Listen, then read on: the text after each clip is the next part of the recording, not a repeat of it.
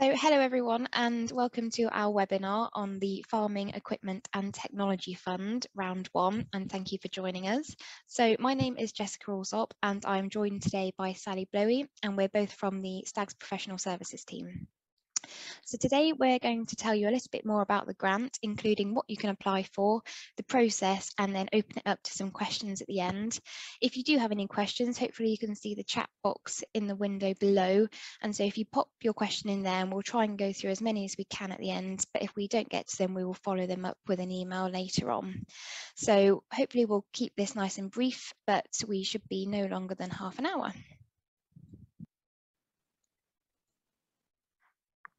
Okay, so the Farming Equipment and Technology Fund, the aim is to support investment in equipment and technology to improve agricultural productivity, animal health and welfare, and air and water quality, as well as encouraging the sustainable use of pesticide and management of woodlands. The format is similar to the previous small grant scheme, however, there are a few key differences bullet pointed here. So the minimum grant has reduced to £2,000 to allow small farmers the opportunity to apply as feedback from the previous scheme was that the minimum 3,500 was prohibitive to many. The maximum grant has also increased to £25,000 and this is mainly to allow higher value forestry equipment to be included. You can apply for £50,000 over the duration of the scheme, which is anticipated to be £25,000 in each round maximum, and this is not linked to previous totals claimed under the small grant scheme. Contractors have been added to the list of eligible applicants this time as it will felt it's felt it will benefit more farmers. DEFRA will review how well this has worked after round one. And there are an additional 38 items on the list of items, which include 10 forestry and eight horticultural items.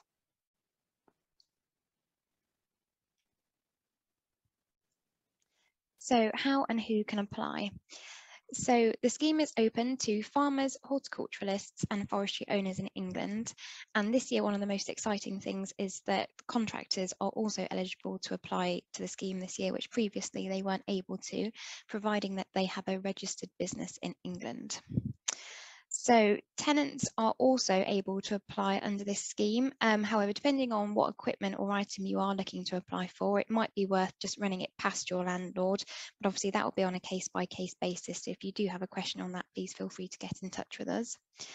Um, one of the things that has stayed the same is that the non-departmental public bodies such as local authorities and any of the Crown bodies are ineligible to apply for the grant and then how much funding can you apply for, the most exciting bit. So um, this year, the handbook specifies a contribution towards each item as opposed to a percentage, which the RPA have worked out with AHDB, and it's based on 40% of the standard purchase costs.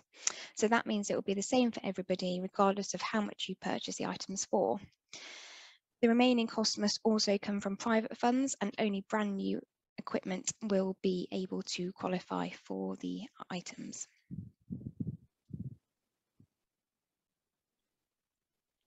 So we're going to run through some examples of the equipment that you can purchase under the various headings that the RPA have sorted them into. So for livestock handling and weighing, the main items are the mobile cattle handling system with a fixed contribution of £4,456 there's also a mobile sheep handling system at £3,100. And new for this year is the EID panel reader at 620 for cattle and 532 pound for sheep.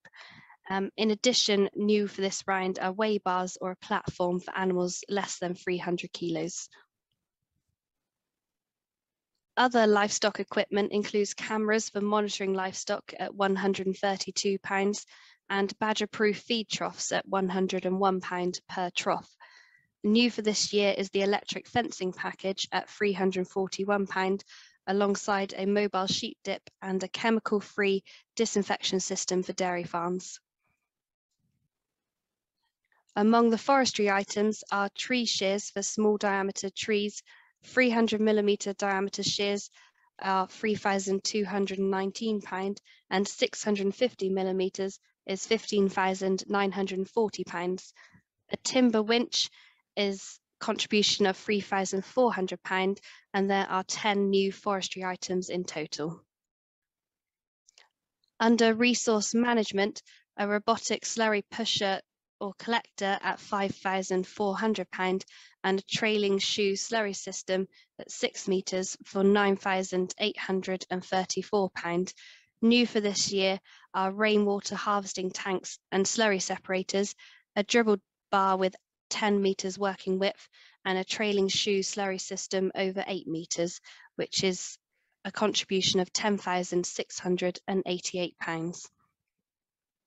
So within the general category, um, we've put some of the popular items here on the slide, um, which includes a grassland sward lifter with a contribution of £2,804 and a digital weather station, of which the contribution of £814.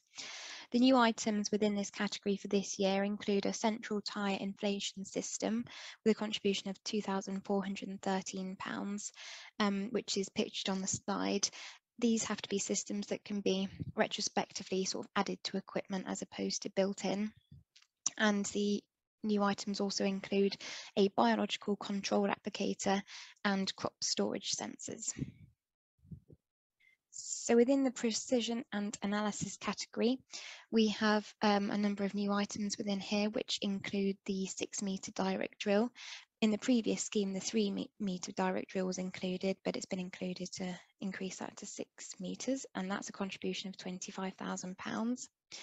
And the other new item included this year is the re real-time inline forage crop analysis, which again is pictured here. So the final category is horticulture. There were eight new items added to the horticulture category this year. So these included the electronic tray filling machine, the electronic row seeder, a five row seeder, paper pot transplanter, an in-row weeder for 1.8 metres and inter-row 3 metres and 6 metres. And finally on the screen you can see is a salad leaf harvester.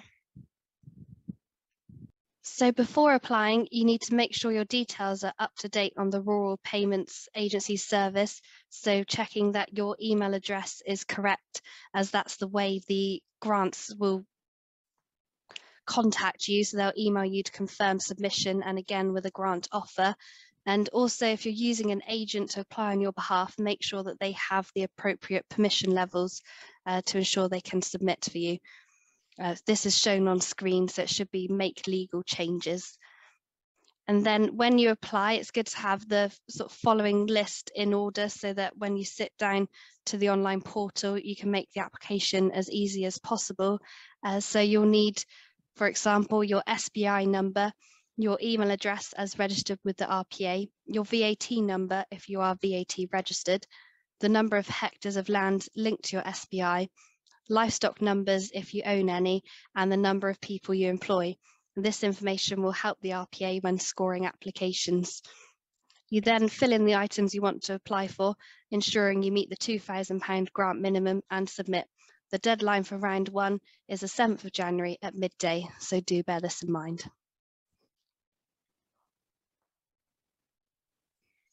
So scoring and checking the application. It is worth noting that the scheme is competitive and the applications will be assessed against the following criteria, which are whether the item uh, improves productivity on the farm, animal health and welfare, and thirdly, environmental benefits, including biodiversity. So following the application deadline of the 7th of January 2022, the RPA are expecting to issue agreement offers or let people know if they've been unsuccessful within three to four weeks. So this is likely to be the end of February or early March 2022.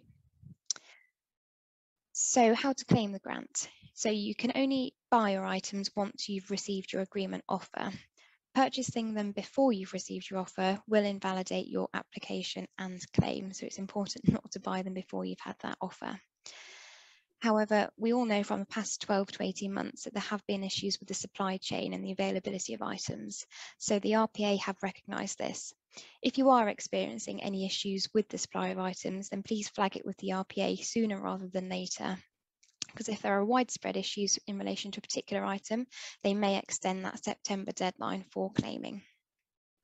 So when you're ready to submit your claim, you'll need some evidence to go alongside it. Uh, when you've received the agreement offer, in that email, there'll be a claim template to be completed once the item's been purchased and delivered.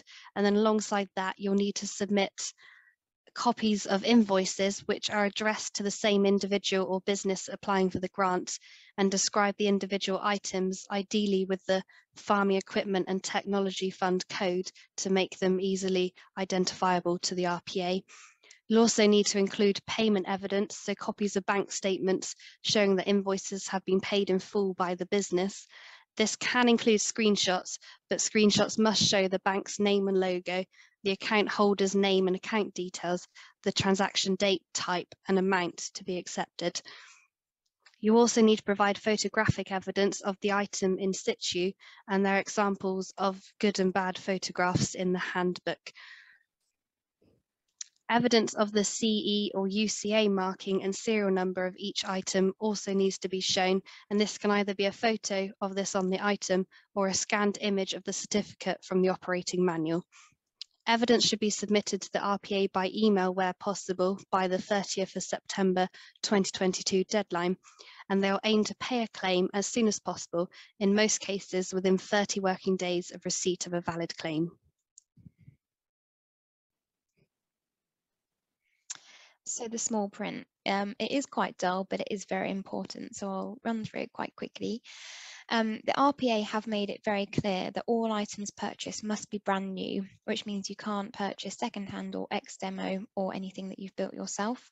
And it also must include the CE or UKC UKCA mark, as Sally's just mentioned, which I've popped on the screen here so you know what you're looking for.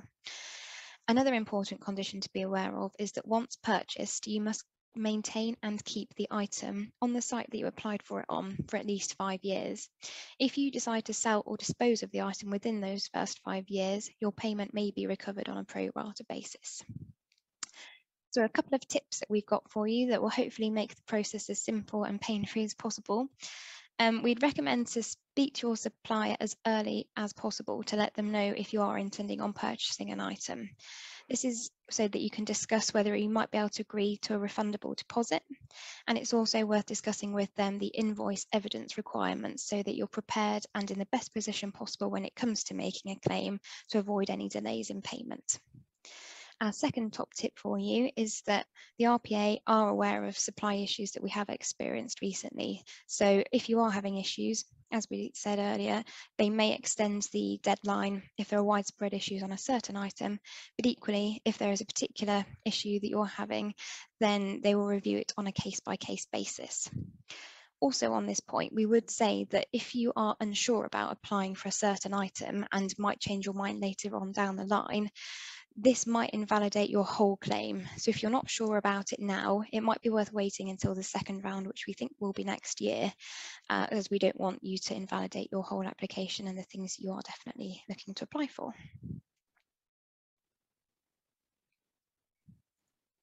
So that was a quick run through of the grant, hopefully answered a few questions. And if you'd be interested in applying or want to discuss a possible application, then the contact details for your local professionals are on the screen now. Um, Sally, myself covering West Devon and Cornwall, Jess, Mid Devon and North Devon, then Guy Wilson in Somerset, Dorset and East Devon, and Claire Campbell in South Devon. Um, so feel free to get in touch with any of us to help you out. And thank you very much for listening.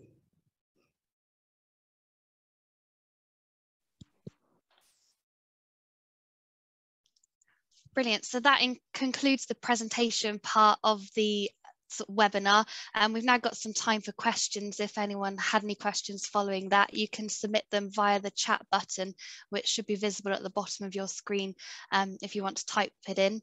We have had a few questions submitted prior so we'll start with those. And the first question which I'll put to Jess is I applied for the small grant scheme previously and will that limit what I can apply for now Um, thanks, Annie. So that's a really good question. Um, so there is this new £50,000 limit. So in answer to the question, it's no. So this is a new pot of money entirely separate from the old scheme. So the maximum you can apply for in round one is £25,000 worth of grant funding. And then in grant round two, which will probably be next year, you can apply for another £25,000 worth of funding. So plenty of money to go around. Um, so let's have a look at a, another question, which you might be able to answer here, Sally. Um, if somebody doesn't have an SBI, can they still apply for the grant? Thank you, Jess. Uh, so yes, you can. Um, might be the case for any contractors this year that you aren't currently registered with the RPA if you don't claim any sort of basic payment or have any stewardship agreements currently. Um, it's fairly easy to register with them. So you can either go through gov.verify, which is the sort of website portal, and register yourself with two if you've got two versions of photographic ID, um, that should only take 15 minutes. And then you can go through to the rural payments and set up a new business. Once you've got that SBI, you can carry on and apply for the grant as anyone that's already registered. Um, so it shouldn't really take you any longer. Um, and you don't need to have any land linked to your SBI either. Uh, so then let's see, next question, Jess. Um, are the items you went through the only items you can apply for? Uh, so that is a great question. Um, and the answer is no. So there's uh, 120 items on the list in total. The ones that we went through here today are just sort of some headline and the most popular items that we've seen people apply for. So like Sally said earlier, there's 38 new items added to the list this year, um, but there is a full list of 120 items broken down into each category. So hopefully there's something out there for everybody. Um, just in addition to this point, I'd say uh, whilst there is a lot out there, there's also quite uh, tight specifications around each item. Um, so I won't bore you by going through them in detail, but uh, just as an example, um, one of the most popular items last year was the mobile cattle crush. And within that, there's 10 different things that your crush must um, comply with to be eligible. So don't let it put you off at all because your supplier, I'm sure, will be totally used to dealing with um, the requirements of these grants. Um, but it's just worth checking uh, sooner rather than later before you put an order in. Um, so here's a good one for you, Sally, being based uh, over in Cornwall. Um, do applicants still get a higher payment rate as they did in the previous scheme? Ah, thank you, Jess. So yeah, under the small grant scheme, the Cornwall, anyone with a Cornwall postcode could get 50% funding, whereas the rest of the country was 40% funding. Uh, but they've now taken that out. Um, so whether you're in Cornwall, Devon, Dorset or Somerset, you'll get the contribution which is named in the manual. So it used to say 40%, it now just says a fixed amount, sort of as we went through in those slides against each item. Uh, so no benefit for the Cornish amongst you. And then let's see, just uh, I think we've got time for one final couple more questions. Um, so Jess, what about if the item I want's not included in the list, is there an opportunity to suggest any additional items? Yes, that is um, uh, an interesting question. And one of the things the RPA has been really good at um, this year is listening to the feedback from the previous scheme. So like we said earlier, there's a whole 38 new items, which was um, you sort of developed through the feedback from the previous scheme. So sadly, if there's something on the list that you want to apply for this year, um, if it's not on the list now, you can't apply for it. But the RPA are still taking feedback and wanting to develop the schemes to be as useful as possible. Um, so they're listening to um, your local groups such as the CLA or the NFU. Um, and it might be worth mentioning that STAGS are an affiliated rural surveying NFU um, company. So if you did want us to put you in touch with your local representative, please do get in touch. We can send you to your county advisor. But it's definitely worth flagging because um, it's really positive to see that they're developing the schemes, um, listening to farmers' feedback. You know, contractors are invited to apply for it this year. Um, so if you've got some good ideas that you think other people might benefit from, please do say because they will listen she says. Um, okie dokie. so um, if we just uh, do one more question, then uh, we um, could wrap up. So will there be um, another opportunity to apply if we're not sure what we want to apply for this year? Uh, yes, thank you, Jess. There will be. Um, so DEFRA have advised that there will be a round in 2022 as well, um, which should launch late 22. So we assume similar time to this year's application round. Um, so yeah, if you don't apply this time, there will be future opportunities. Like Jess said in the presentation, um, quite often you will have to purchase everything that you've applied for. So if you're not sure, there will be a future chance. That's great. So I think that's what we've got time for today. Um, I hope that's been really useful um, for everybody watching and listening. Um, we have been recording this webinar and we will be emailing it out to everybody that's attended and I believe we'll also be putting it on the website. So um, you can go back over the slides and some of the detail um, in there. But if you do have any specific questions that weren't covered today or would you like to raise with us individually, um, please don't hesitate to get in touch and we would really love to hear from you. And yeah, once again, thank you for taking the time to come and listen to us today. Thank you. Thank you.